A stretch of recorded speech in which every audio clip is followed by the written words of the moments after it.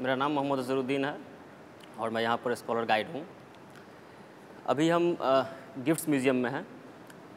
ये gift museum 1991 में are Venkataraman साहब ने खुलवाया था। इस म्यूज़ियम में बहुत सारे गिफ्ट्स है और ये सभी गिफ्ट्स राष्ट्रपति, भारत के राष्ट्रपतियों को मिले हैं। जब भी हमारे कोई राष्ट्रपति किसी ऑफिशियल विज़िट पे जाते हैं तो उनको काफ़ी सारा गिफ्ट मिलता है। वो सारा गिफ्ट्स देश का होता है और सबसे पहले वो सारी गिफ्ट्स राष्ट्रपति भवन की ट्रेजरी में लाई जाती है। उसके बाद वहाँ से कुछ गिफ्ट्स इस म्यूज़ियम में लाई जाती है जो आप यहाँ पर देख रहे हैं। आइए हम आपको कुछ गिफ्ट्स कुछ यूनिक गिफ्ट्स की आ, बात बताएँगे। यहाँ वैसे तो यहाँ पे बहुत सारा गिफ्ट्स है लेकिन हम कुछ गिफ्ट्स को एक्सप्लेन भी करेंगे।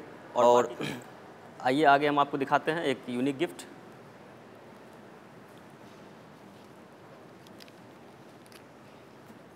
यहाँ पर एक गिफ्ट आप देख रहे हैं। ये एक शिप का मॉडल है। ये गिफ्ट इंडोनेशियन गवर्नमेंट ने हमारे फ़र्स्ट प्रेसिडेंट को गिफ्ट करी थी। इस गिफ्ट की खास बात यह है कि ये क्लोव से बनी है। क्लोव जो हम मसाले में इस्तेमाल करते हैं, लौंग, ये लौंग से बनी हुई शिप की एक मॉडल है। ये बहुत ही यूनिक गिफ्ट है। अभी भी इसमें से हल्की स्मेल आती है।